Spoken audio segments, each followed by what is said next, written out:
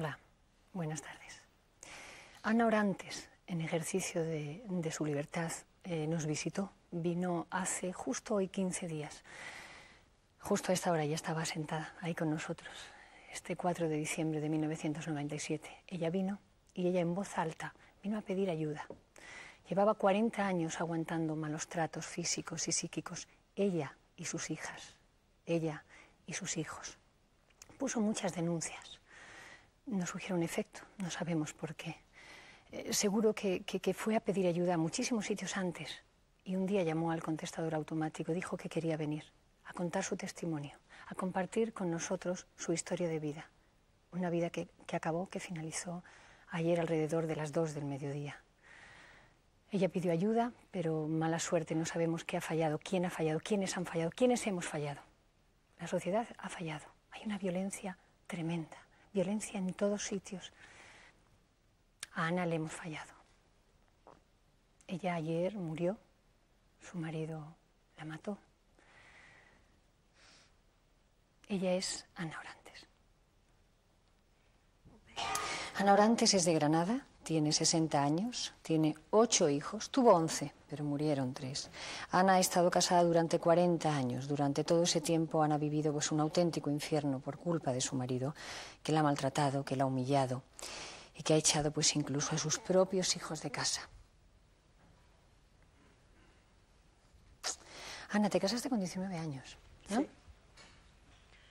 ¿Qué tal? Con, con 19 años y estuve tres meses de novia y a los tres meses, pues... Supongo que tus padres nada más tres meses de conocer o no les gustaría nada el que te casara, no, le gustaba. Mi padre, mi, mi padre, mi padre me lo decía, Ana, ese hombre a ti no te conviene. Eso te decía.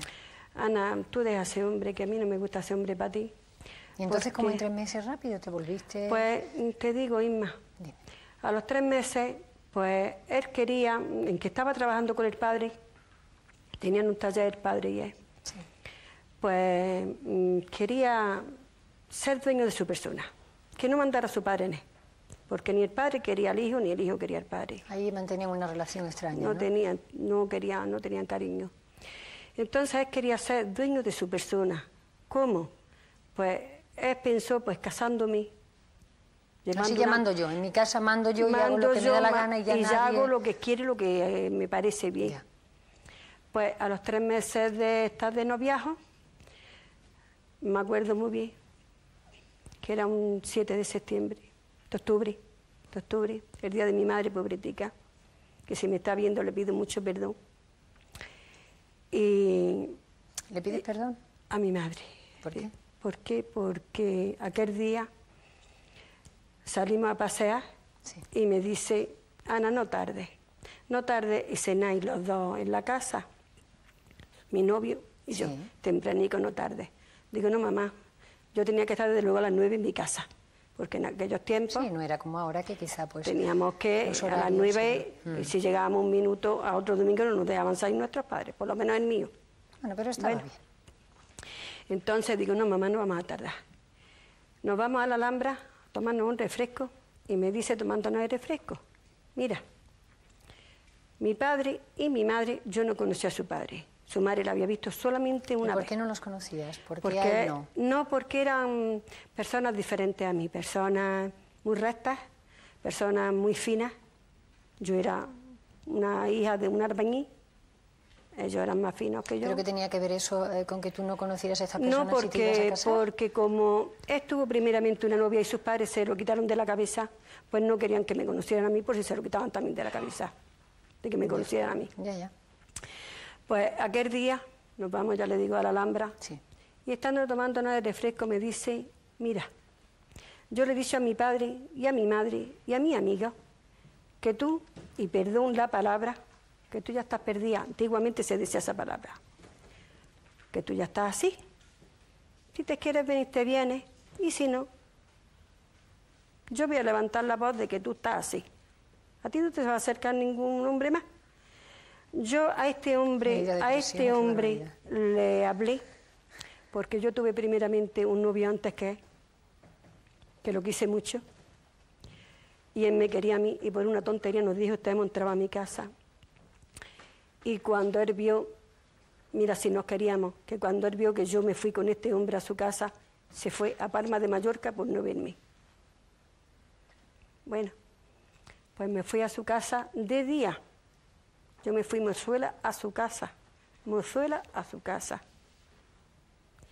Pues desde ahí, ya su madre, cuando me eh, la misma noche que me conoció, me dijo que yo le tenía que decir mamá y a mi suegro papá, porque ellos se iban a portar como padres y que me iban a mirar como una hija. Bueno. Y tú aceptaste y dijiste, bueno, esto no tiene nada malo, no pasa nada.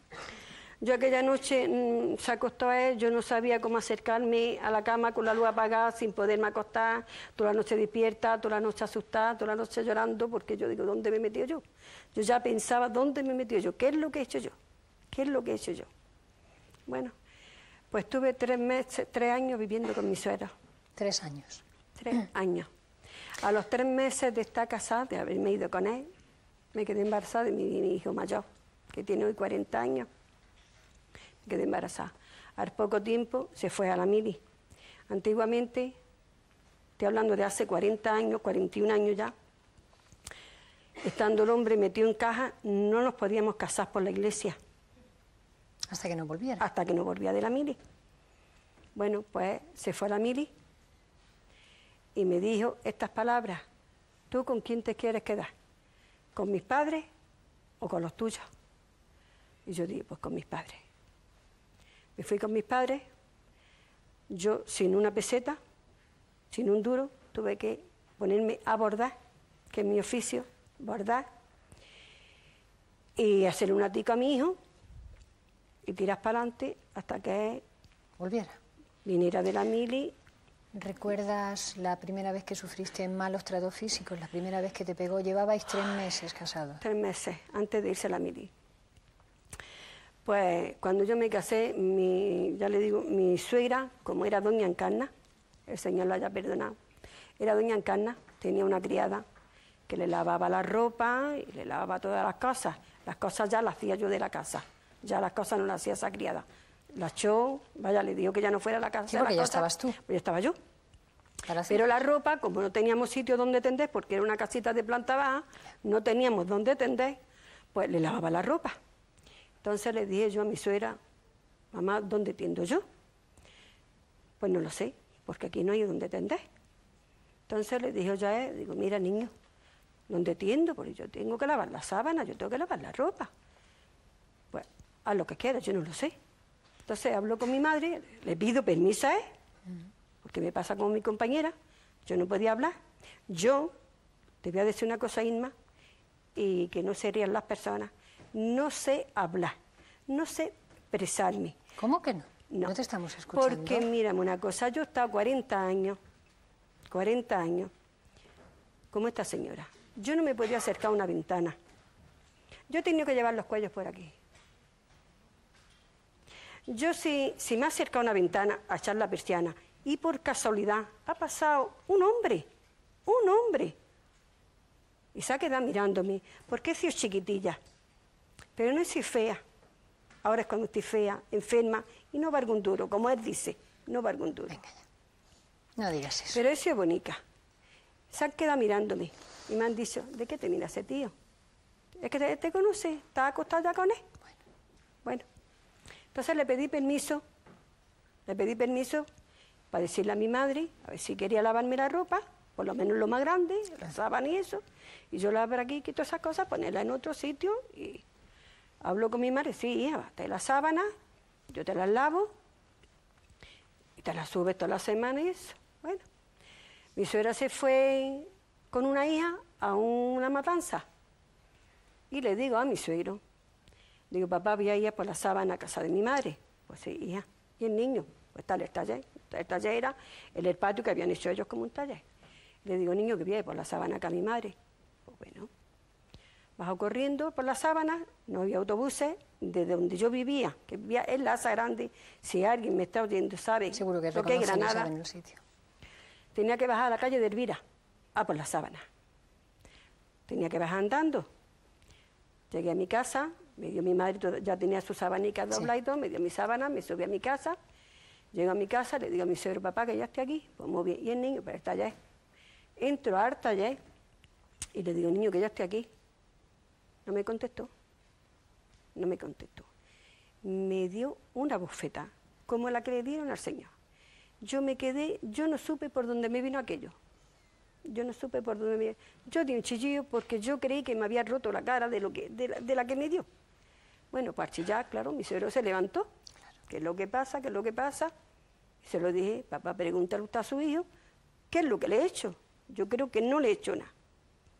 Ya su padre le dijo que a su madre jamás le había puesto una mano encima y que él no me tenía que pegar a mí. Y le pegó a su hijo dos guantas.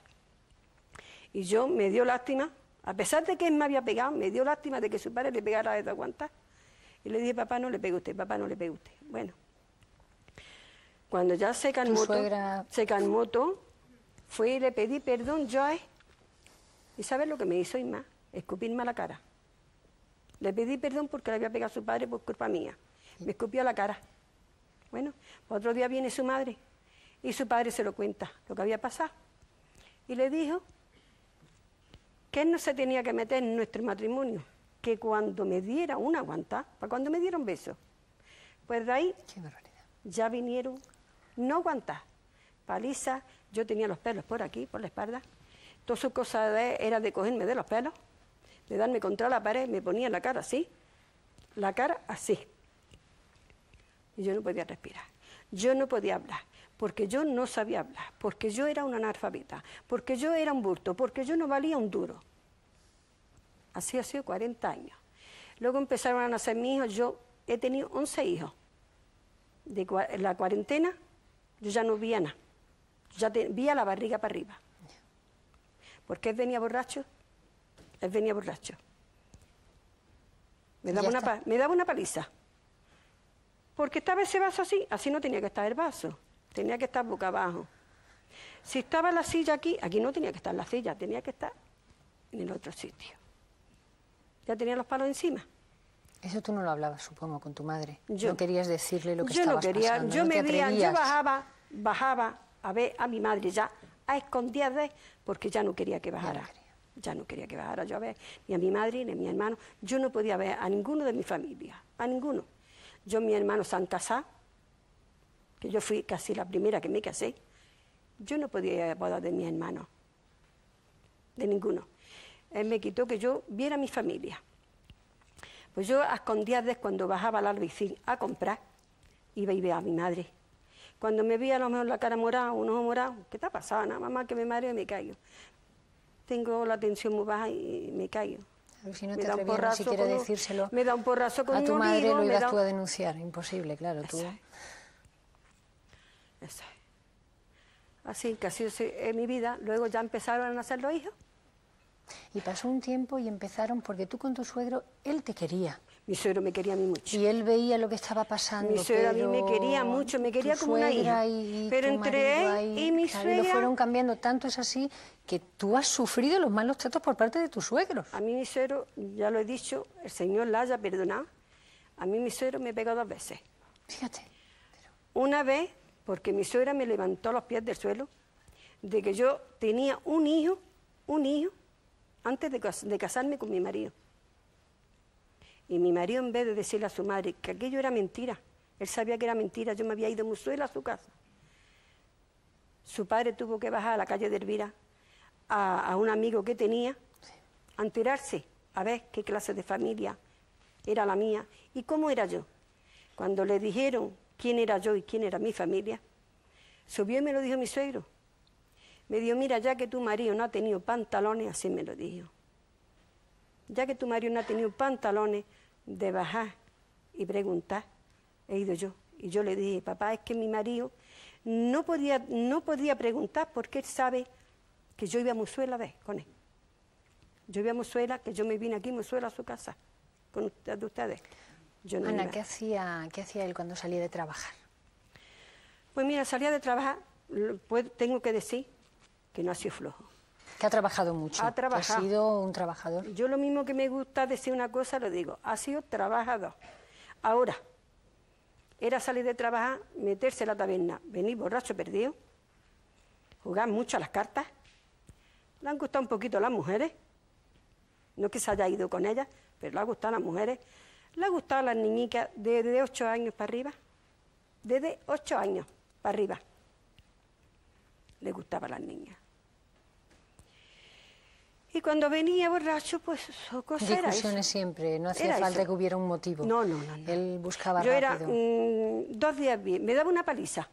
A otro día me decía, estaba a llorar Anitilla, porque me decía, Anitilla, Anitilla, perdóname, ya no va a pasar más. Ya no te voy a pegar más porque esto no es vida, porque no le hagas caso a un borracho, porque... Pues, yo lo creía, lo creía, lo creía porque tenía 11 hijos no tenía dónde irme, no tenía dónde irme, porque yo no podía irme con mis padres ni con nadie, yo tenía que aguantarlo, que aguantarlo, que me diera paliza sobre paliza, paliza sobre paliza, un día sí y otro no, y el del medio, que me dijera todo lo que él quería, todo lo que quería, de eres una por aquí, eres una por allí, esas eran sus palabras, ¿ves? Eso lo saben mis hijos, eso lo saben mis hijos mayores que tengo dos, que le da lástima de que ahora a los 40 años haya dejado a su padre. Le da lástima. De su padre. De su padre. Pero no le da lástima de tantas veces como han visto a su madre con los ojos morados. Tiraica al suelo dándome patadas. Eso no, le da lástima a mi hijo ahora. Yo ya no podía tirar más de su padre. A mí mi hijo este, tenía una vara. tenía una vara, una, como un metro y me a su hijo. Tuviera 14 años, como la primera que se me casó que tenía 14 años. Tuviera 17, tuviera 16, ese tenía que salirse de la casa. Porque ese o le daba una paliza y lo echaba, o la aburría para que se tuviera que Tengo una hija con 14 años, que esa no quiere saber nada de mí. Y yo por parte le doy la razón. Le doy la razón por parte y por otra no. Mi hija un día estaba peleándose con un hermano,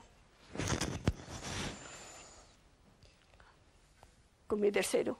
Estaban peleándose como hermanos, jugando. Y fue le dio un aguantarle el culo el hermano a la, niña. Tendría la chiquilla unos días y ellos más no tenía. Entonces le dijo, mira, no vayas tú a creerte que por qué papá me toca a mí en los muslos me va a tocar tu, mi el culo, que te mato. Entonces yo me quedé de piedra. Yo no supe por dónde me vino aquello. Porque a mí me ha pegado y me ha dolido, pero a mí me duele más lo que ha hecho con mi hijo. Lo que ha hecho con mi hijo y con mi hija. Menos con una, menos con una que la tengo ahí, que la tengo ahí, y te voy a decir el por qué no la tocó. Ana, nos vamos un momento a publicidad. Gracias. Gracias.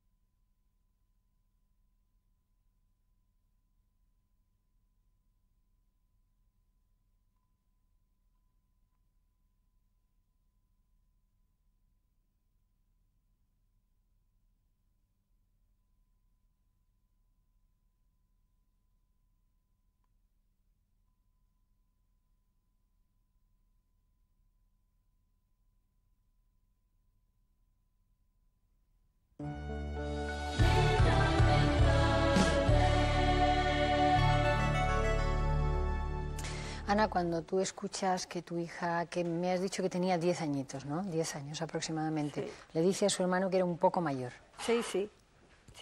porque le dio una palmada en... Era menos. Esta es la segunda. Ya. Y Esta entonces... es la segunda, era menos que ella. Y le estaba diciendo eso, que lo mismo que tú me das una palmada y tal, que no vayas a hacer como papá que me toca los muslos. Sí.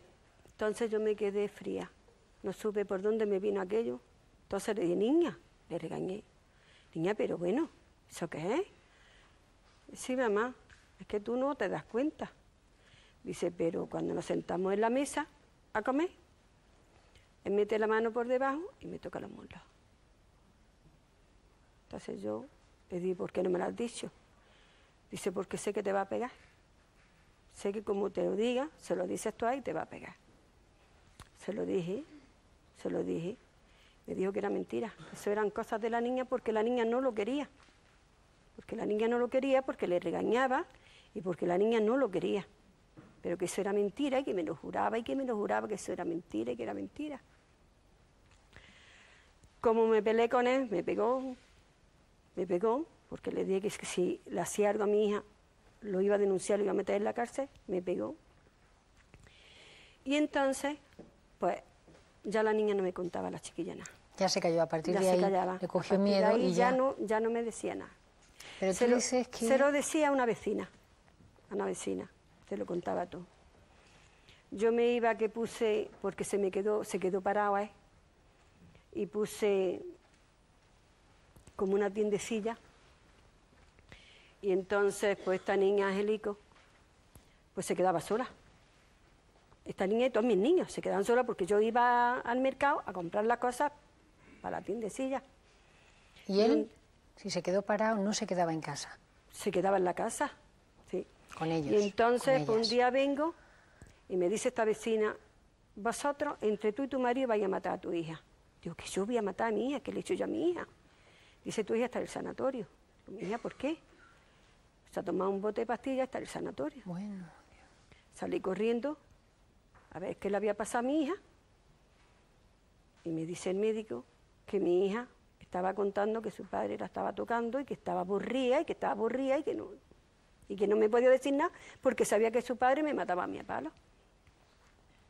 Entonces la chiquilla, pues en esa entremedia le salió un novio por carteo, tenía, no tenía 14 años.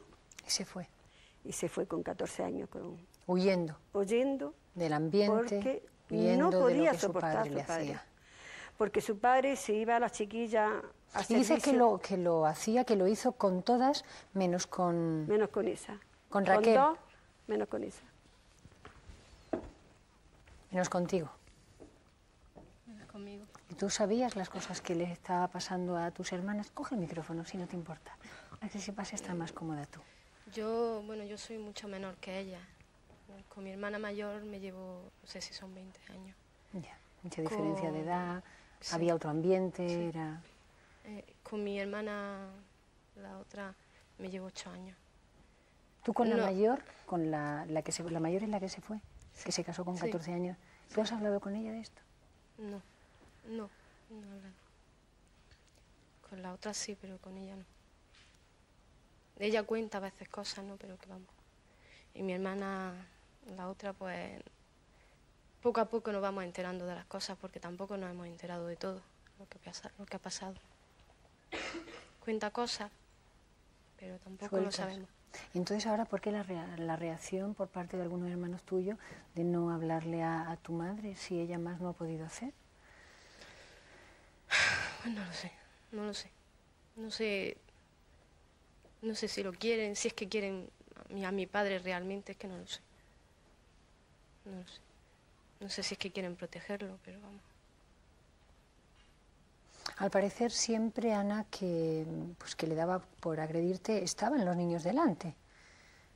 Todo. Todo. Incluso ellos han llegado a recibir malos tratos. Un día, Inma, un día, se me puso uno que tengo con 34 años, me va a cumplir ahora. Tenía 8 años, se me puso malo. Con la barriguita así, calenturón, que se me moría, que se me moría. Lo cogí en brazos, lo llevé al albaicín, al médico. Era un mes de agosto, y me dice el médico, me pregunta el médico que si yo tenía perros. Digo, pues sí tengo perros, pero los perros no entran a la casa, que a los niños les gustan los perros y tienen perros, juegan con los perros. Dice, pues este niño tiene una enfermedad de perro. Yo me asusté mucho. Bueno, pues le manda un jarabe, le manda unas inyecciones y le manda unas pastillas. Voy a la farmacia y me dice la señora de la farmacia que no tiene esa clase de medicamentos, que tiene que mandarlo a pedir. Tenía mucha confianza conmigo esta señora de la farmacia, me conocía, conocía toda mi vida, sabía todo lo que estaba pasando. Y entonces me dice, mira Ana, súbete a tu casa con tu hijo, darle una mijica de manzanilla, te vas a las cuatro y media, ya he pedido yo las cosas y te las subes para arriba, le pones una inyección a tu hijo, que prácticamente estaba al lado, al lado de la farmacia, le pones una inyección y ya te lo subes para arriba. Me bajo a las 4 de la tarde para otra vez con mi niño en brazos. Le toca la puerta a esta señora porque tenía la farmacia cerrada, porque abría a las 5. Le toca la puerta, me abre y me dice, siéntate, Tayana, que ahora mismo te voy a dar las cosas para que cuando sea las 5 le ponga la inyección al niño, le dé una cucharadica de árabe que te voy a dar yo una cuchara, una cucharadica de aquí, te lo da y ya te subes para arriba con él. Estoy sentada y entra una señora de allí de mi barrio y me dice, Ana, a tu marido lo he visto ahora mismo, sin camisa, con la cara como los locos, desencajada, mirando por todo el bici. Y digo, ay, doña Celia, hoy me mata, hoy me mata. Dice, hija, pero si no está haciendo nada malo, digo, hoy me mata. Bueno, me da esta señora los medicamentos, me voy, le pongo la inyección a mi hijo, me da el jarabe, me da todo, con a mi niño, me subo para arriba, a cinco y pico de la tarde, y veo que están todas las puertas cerradas, todas las ventanas las persianas, todo oscuro. Digo, hoy me mata, hoy es el último día de mi vida. Teníamos animales. Por detrás de la casa había otra puerta, que era donde se entraba la, cuadra de los animales. La chucha la puerta estaba abierta. Subo con mi niño las escaleras a mi casa. Me los veo todos sentados así, como los indios, todos así. Y es en medio. Y me dice, ¿de dónde viene? Digo, pues mira, que se ha puesto el niño malo, que mira qué calenturón tiene. Y ido al médico, le conté. Coja al niño. De un puñado, me lo echa sobre el sillón, me lo tira. Me coge los medicamentos que lo tenía en la mano, me los tira, los pisotea. Se enreó conmigo. Me dio una paliza. Me dio una paliza para matarme. Para matarme, que yo no había ido al médico. Yo había ido a acostarme con todos los tíos del albaicín con todos los tíos de la no había ido a acostarme. Yo al médico con mi hijo no había ido.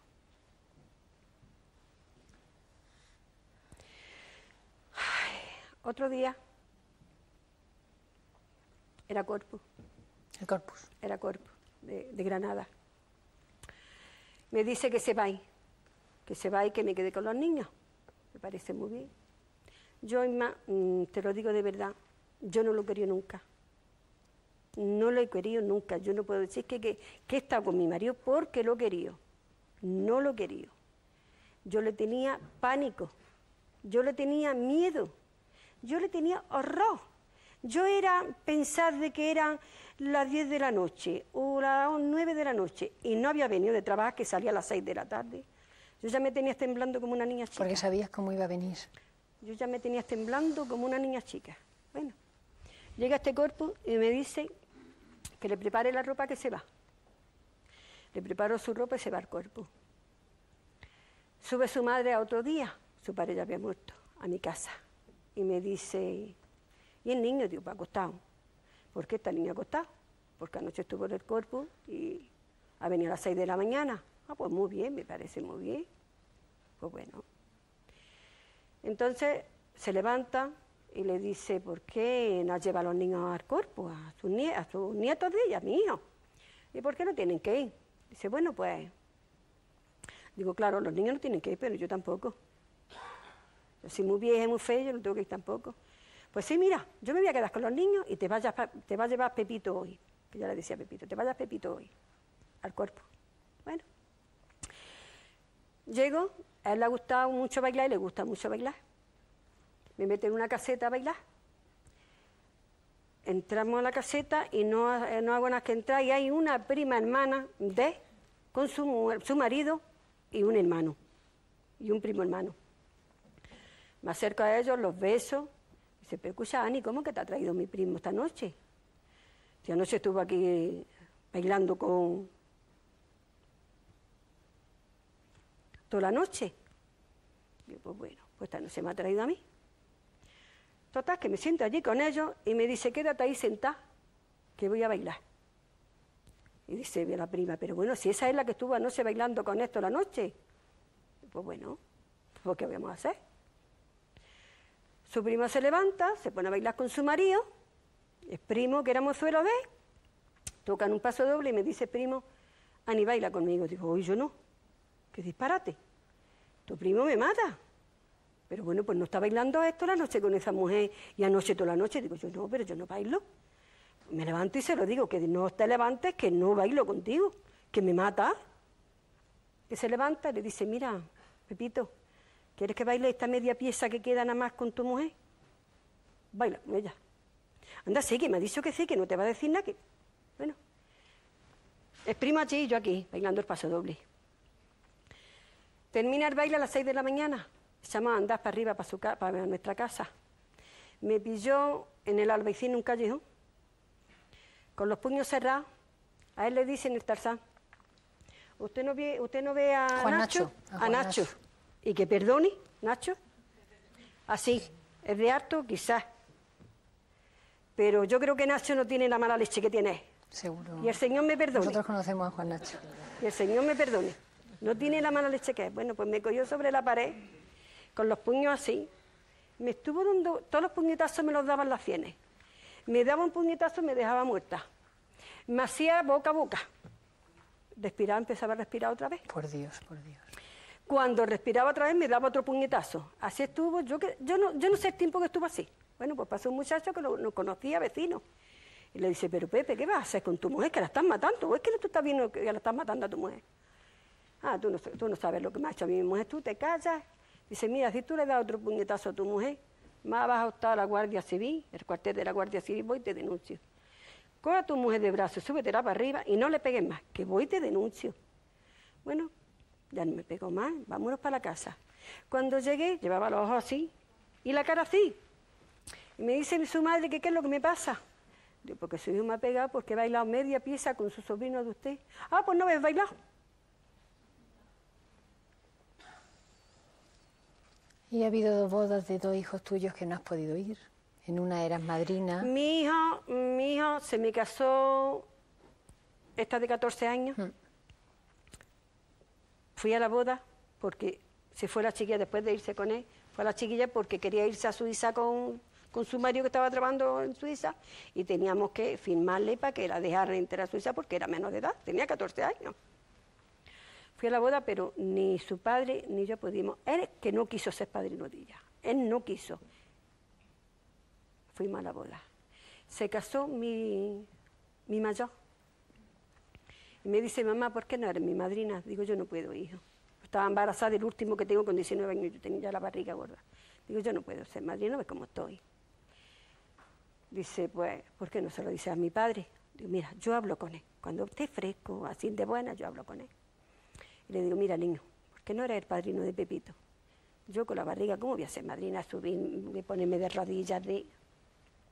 Pues sí, mira, no vaya último día a enrearla. No, que yo soy el padrino de...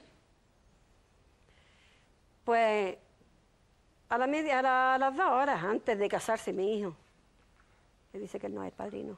Y me le compré, me empeñé fiado, fiado como se decía antiguamente, cuando hace 40 años se decía fiado. le pedí un traje fiado para que fuera con un traje submarino a la boda de su hijo. Le compré a todo mi hijo una poquita de ropa. Yo me habían dado un vestido marrón de, de, futura mamá. Y con eso iba ahí. Y me dijo que como yo fuera a la boda me daba una paliza que la, la barriga la echaba por la boca. Yo no pude ir a la boda de mi hijo. Mi hija fueron a la boda de su hermano y lloraban como niños chicos de vez que no estaba allí su madre delante. ¿Sabe? Ese fue el mayor. Ahora vamos al último que se me ha casado. Estaba el chiquillo trabajando y a mí me daba dos sueldos, dos sueldos, que es el único que se ha casado de blanco. Y me dice, mamá, ¿por qué no eres mi madrina? Dijo, tengo que hablarlo con tu padre, porque ya sabes quién es tu padre. Y le digo, mira, niño, el niño quiere que yo sea su madrina. Ya mi hijo Angelico me había comprado unos zapatos, me había comprado un vestido, me había comprado una chaqueta negra muy bonita, me había comprado toda la ropa porque sabía que no tenía. Y le digo, mira, dice el niño que por qué no soy madrina de ¿Tú? como que tú vas ahí enganchado a un tío que no conoces, del novio. Mi hijo le estaba hablando desde que tenía 14 años a la novia, a la novia, y tenía 21 años cuando se casó.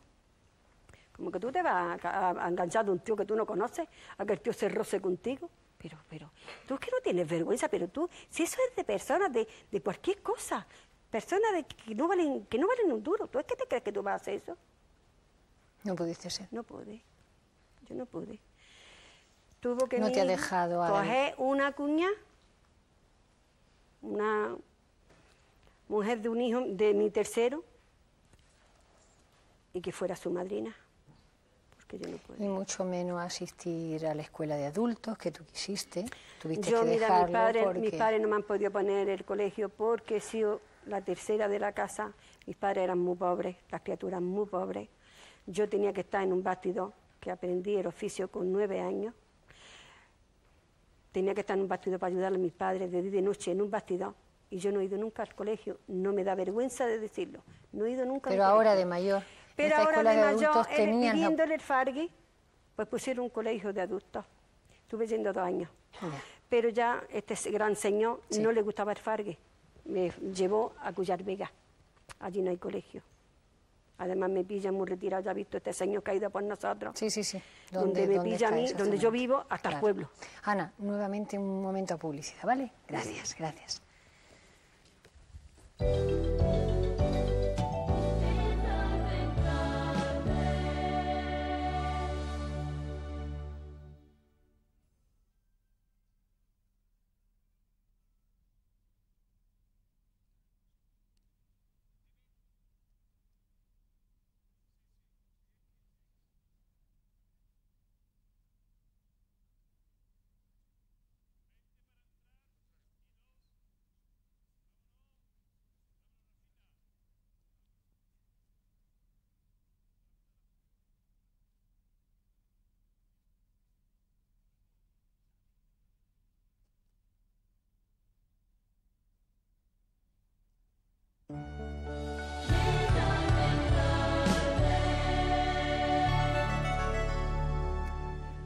Pues Ana, lo que sí nos gustaría decirte para terminar es que te animamos desde aquí que si quizás has perdido mucho tiempo a lo largo de muchos años, que ahora puedes recuperar. Es lo único que me pesa, Inma, no haberlo hecho antes. Bueno, pero plántate en el día de hoy, mira para el futuro.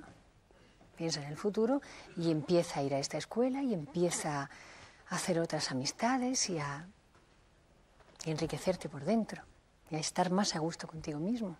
Y a lo mejor tus hijos, si te están viendo ahora y están viendo tu actitud y contando. No, pero si mis hijos son todos modelos. Para el padre que han tenido son todos modelos. Porque ellos también han sufrido, es lo que siempre decimos, que Modelos porque mi hijo tiene a sus mujeres en la palma de la mano, mis hijos miran por sus mujeres mucho, mis hijos son muy trabajadores. Pero que también han tenido que sufrir de pequeños. No he tenido la mala suerte de que ninguno sea como muchas criaturas que hay, y mis hijos son modelos. Yo no tengo queja de ellos, pero que tengo esa pena de que... Pero tienes que venirte arriba, Ana. Pues sí. Ana Orantes, gracias por acompañarnos. Ya te vemos sonreír. Venga, muchas gracias, gracias. El número del programa ya saben que es el 900-101-846. 900-101-846. Siempre dicen que las buenas noticias no son noticias, pero bueno, de vez en cuando uno encuentra una buena noticia. Yo quiero compartir una que hemos visto esta mañana en la prensa, quiero compartirla con ustedes, porque últimamente estamos hablando mucho, porque es así, porque los testimonios, las personas que nos vienen sin querer siempre cuentan lo mismo, esos malos tratos, esos daños físicos, psíquicos, con ellas, con sus hijos, ese daño tan grande de no poder dejar hablar a una persona, esa falta de libertad tan terrible. Y hoy hemos recibido, hemos visto una noticia buena y les leo. El consejero de la presidencia ha dicho que está predispuesto a que el Gobierno andaluz dé cobertura gratuita a las personas que denuncien casos de malos tratos. El Gobierno andaluz asegura que la lucha contra la violencia a la mujer es uno de sus temas prioritarios, más importantes que ellos tienen en mente, que tienen en el Gobierno andaluz y que van a hacer mucho por esto. Y desde aquí les damos las gracias. Que ayuden y protejan a nuestras mujeres maltratadas y a nuestros hijos maltratados. Les doy las gracias. Sí.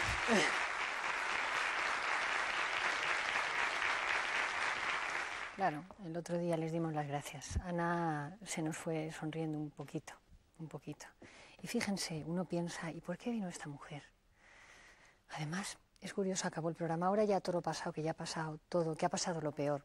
Todo lo que digamos sobra. Y además llevamos, pues desde que nos enteramos ayer, todos los medios de comunicación hablando. Nosotros, sinceramente, en este programa, pues llevamos, desde que nos enteramos, muy tristes, porque además María del Mar, que es la persona que preparó los testimonios, pues no podía creer lo que estaba escuchando. ¿Y, ¿y por qué vino Ana a este programa? Ella nos comentaba antes de entrar en testimonios, yo necesito desahogarme, esto no puede ser, llevo tantos años aguantando y además lo denuncio y no pasa nada, esto es terrible. Igual cuando yo lo diga públicamente aquí, como se va a enterar mucha gente, yo voy a llegar y sé que me van a defender, mis vecinos, mi gente, y él incluso no se va a atrever a hacerme nada porque, porque además yo he venido aquí Luego había muchas personas también, muchas llamadas, mucha gente diciendo qué, qué valentía, qué fuerte ha sido, porque nosotros a lo mejor no nos atrevemos. Y esta mujer además ni peluca ni historia, que hay que respetar mucho cuando vienen las personas y a lo mejor no se atreven porque tienen miedo y se ponen una gafa o cambian un poco. Ella no dijo, sí yo, pero aquí le temo ya.